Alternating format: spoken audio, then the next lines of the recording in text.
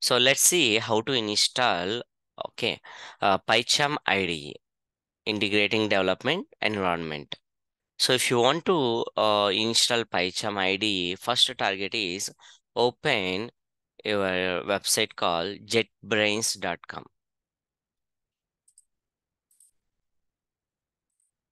There is a website called jetbrains.com website. Just open or else you can just type PyCharm, enter, then you will get this one. So actually this is belongs to JetBrains. Uh, here I have to download the software. Just click on the download option. Yeah. So by default, PyCharm actually it provide two options. One is a professional uh, software, and another one is commercial version. Uh, okay, uh, like professional version. So the professional version is just 30 days trial period. We have to take the license. Actually, this is one we have to take the license. So, but by default, it will work for 30 days. After 30 days, it will expire. Uh, then we have to take the license. And the second one is community edition. Second one is PyCharm community edition. It is a free.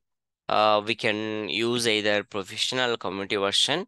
Uh, I'm just going for community edition. So download uh, .exe because my, uh, I just want to work for a Windows operating system. So let's go for download.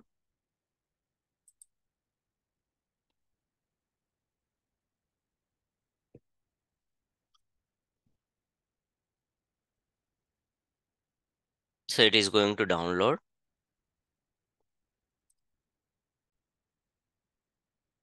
Now let's see here, once download is finished, it comes uh, in your download area. Just PyCharm community version, double click your software, downloaded a software. Now click on what run up. Actually, it says that which location you want to say uh, what uh, run.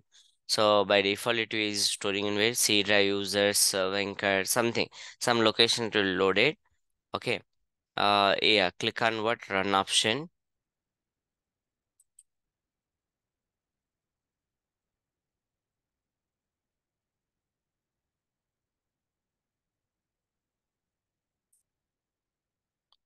Yes, click on S option. So next, click on next. Now it shows that uh, the location where you want to save. Uh, if you are not giving anything by default, it will save into C drive. But I don't want to save into C drive. I have to change the location. So just go for what? Uh, browse or PC. So I just want to load save into my uh, education folder. Right click, uh, create a new folder. Here PyCharm.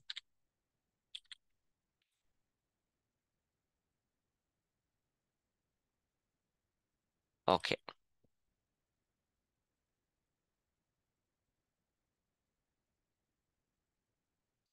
So I just want to load it into uh, my required folder. Uh, okay. Click on what an option called next. Hmm. So here, uh, what it is asking, add uh, PyCharm community folder to path. Give the checkmark for what? Uh, folder to path. Uh, this is by default, it comes, no issues. Uh, as a project. If you want desktop shortcuts, then give the checkmark here. So then directly we can double click and we can open. Okay, update context menu, add open folder uh, as project. Create associations.py. I just give the check mark, click on what next option. Yes, install. Now it has to finish.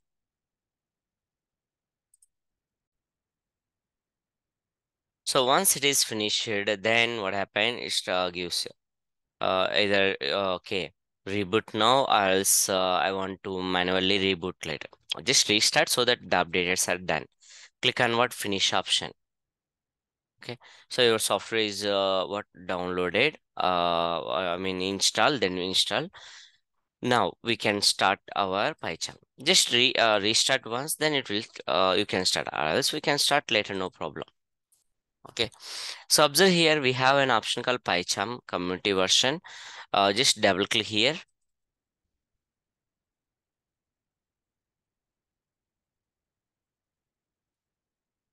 Yeah. Uh, okay, I confirm that I accept the terms and condition. Click on the continue option. Data sharing. Not required. Yeah. So here, this is the window we will get it. Uh, by default, what happen? New project or open folder or get from VCS. So just I'm just want to do new project. Uh, click on what new project.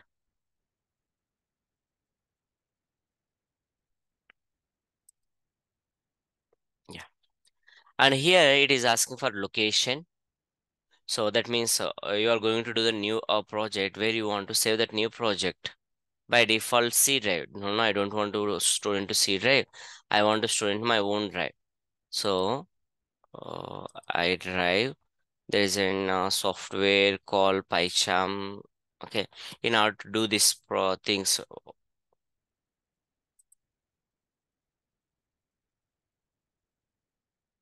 I'll create a folder. New directory. PyCharm projects. Because what are the programs I'm going to do? All my programs I just want to store here. PyCharm projects. Okay. Okay. So all my projects I just want to do here. PyCharm project area. And uh, so uh, in order to work your PyCharm, PyCharm is an IDE, right? It need to configure with our Python environment. So there is an option called, okay, see, let's see here, uh, python.exe we have to configure. New environment using virtual environment location or base interpreter. So or else, uh, uh, if you go for already we have in what uh, Python environment is available, right? So you can choose that one also directly. By default, it will come. Okay, location. Okay. Yeah. Previously configured interpreter. Or else why? Already available now. So make available to all the projects. Give check mark here. Because for whatever the projects we are doing, for every projects, so this is the Python. Means PyCharm, once we install PyCharm, in order to do the Python programs, we have to configure what uh, python.exe file. So already in our system, already in our system, we install Python, right? Where I install in the sense, I install in iDrive. There is a folder called Python software. In that one, uh, python.exe available. So uh, directly it comes. In case in your system, if you're not getting this one, then here three dots are available, right? Click this one, three dots. Then it will open what uh, your location. Wherever you install the location, just give that path by default it will come don't worry. So then uh, what uh, yeah click on what create option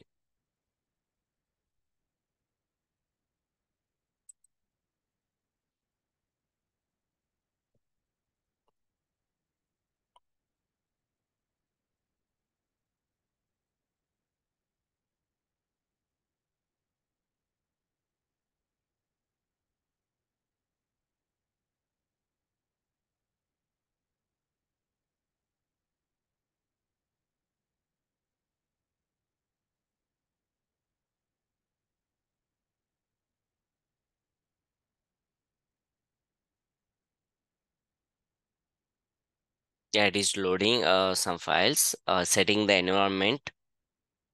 Once it is done then it will open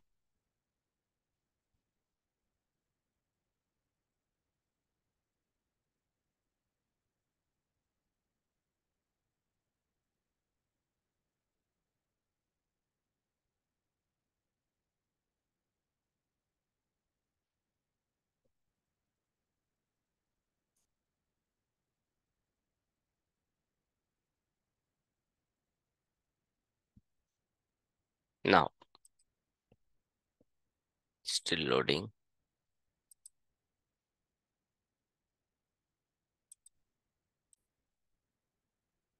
So once all the files are loaded, just first time only takes some time, uh, give some time uh, so that uh, the Python and Py uh, your Py PyCharm both will integrate it. So if you if you don't want black color, if you want other color, you can change the colors. Like go go to here. Uh, there is an option called what uh, themes. In the themes, you can choose whatever the theme you want, light colors. Okay, or light with light header. Okay like dark color means black color comes high contrast light color okay so what are the colors you want you can apply that theme no problem and then here right click and our target is what i need a new i have to work with i want to just develop one python program so click here new go to what python file i need a python file just select a python file Now it is asking what uh, the name of the file. So this is my first example. Uh, so let me write example one. Now observe in my PyCharm example one. Okay. Uh, here uh, you can do your regular program like how we are doing in IDLE in the same way here we can do the programming for example I want to perform addition of two number a equal to 10 b equal to 20, c equal to a plus b. Now print, okay, what sum is comma c. Here the advantage is what? Uh, for example, I have what, what are the variables I have? A, B, C, right? Three variables I have. By mistake, if you do any mistake, immediately shows all the mistakes. For example, let's see, uh, yeah, I'm just writing print See, whenever I write print, it gives me the syntax of the print. Open bracket. So, yeah. Now, when I say something called P, actually P is not available in our location, right? A, B, C, only three variables are available, but I'm trying to write P, which is not available. So uh, if I'm using IDLE, it not shows the error until we execute. But here observe, there is a red underline comes. If I just place the cursor in that one, it shows uh, unresolved reference P. It clearly mentions the error messages. Something is wrong.